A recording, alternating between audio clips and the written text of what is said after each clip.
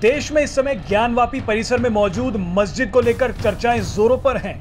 दावा किया जा रहा है कि मस्जिद के अंदर सर्वे करने गई टीम को वज़ू खाने में एक बड़ा शिवलिंग मिला है। अगर दावा सही हुआ तो ये हिंदू पक्ष के लिए एक बड़ी सफलता है।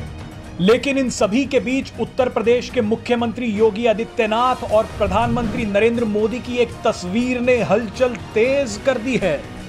आप इसे संयोग ही कह सकते हैं कि जिस दिन ज्ञानवापी मस्जिद के वज़ू खाने में शिवलिंग प्रकट हुआ, उसी दिन सीएम योगी ने प्रधानमंत्री नरेंद्र मोदी को भगवान श्री कृष्ण की प्रतिमा भेंट की।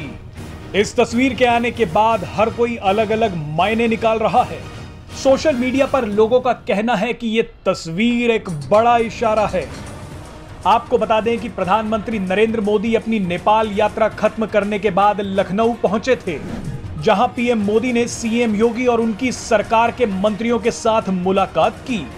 इस दौरान सीएम योगी ने भगवान श्री कृष्ण की प्रतिमा देकर पीएम मोदी का स्वागत किया। आपको जानकारी दे दें कि यह तीसरा मौका था, जब सीएम योगी ने पीएम मोदी को भगवान श्री कृष्ण की प्रतिमा भेंट की। इससे पहले अलीगढ़ में राजा महेंद्र प्रताप सिंह यूनिवर्सिटी के शिलान्यास के मौके पर सीएम योगी ने प्रधानमंत्री नरेंद्र मोदी को बाल गोपाल स्वरूप भगवान कृष्ण की प्रतिमा भेंट की थी।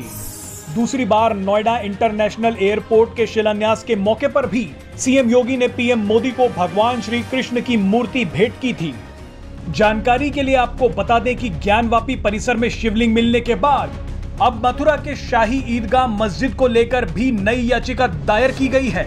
इस याचिका में मांग की गई है कि तत्काल रूप से शाही ईदगाह मस्जिद को सील कर दिया जाए।